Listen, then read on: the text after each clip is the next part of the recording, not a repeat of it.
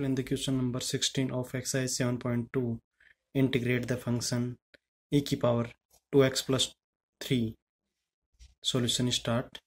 I is equal to integration e to power 2x plus 3 dx. Put 2x plus 3 is equal to t so that dx is equal to 1 by 2 dt. I is equal to 1 by 2 integration e to power t dt integration of EQ power t is EQ power t. So is equal to 1 upon 2 EQ power t plus c is put the value of t is equal to 1 upon 2 EQ power 2x plus 3 plus c. Therefore, integration of EQ power 2x plus 3 dx is equal to 1 upon 2 e power 2x plus 3 plus c